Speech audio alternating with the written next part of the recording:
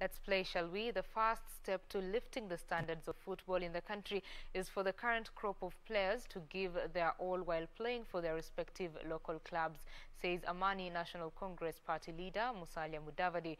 Mudavadi today challenged football players to make sacrifices on the pitch while expressing concerns over the speed at which football standards are dwindling in the country.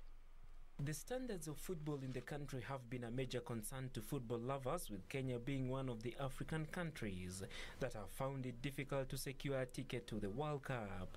Many football clubs are struggling financially, with players going for months without pay and sponsors continuing to distance themselves from the sport.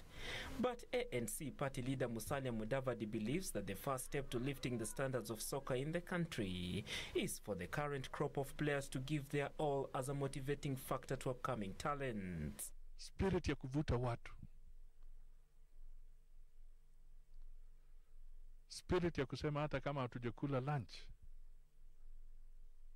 tukipata maji na banana tuko kwa uwanja, spirit ya kusema kwamba hata kama rent haijalipwa kwa mchezaji kwa nyumba yake, anasema nikienda kwa uwanja mashabiki watanisaidia jioni, nitalipa rent. Hiyo spirit ya kujitolea, ndugu na dada, mimi nataka tu niwaambie, hiyo spirit ndio tunahitaji, sio tu kwa michezo, lakini kwa Kenya nzima.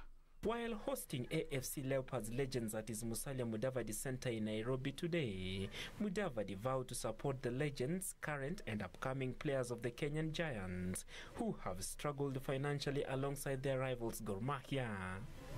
How can we continue to make sports profitable to generate good employment for our future generations? This is the message. Because we would like to see honor in our sports people not kwa uwanja pekee lakini even after uwanja. Si namna hiyo? Hiyo ndio iwe target yetu. Na mimi nataka niwaambie one of the things we want to do is to look at this area going into the future with a completely different perspective so that sports can also be seen as a serious investment. AFC Leopards were currently sixth on the Kenyan Premier League table with 40 points from 23 matches before the season was cancelled due to the coronavirus pandemic.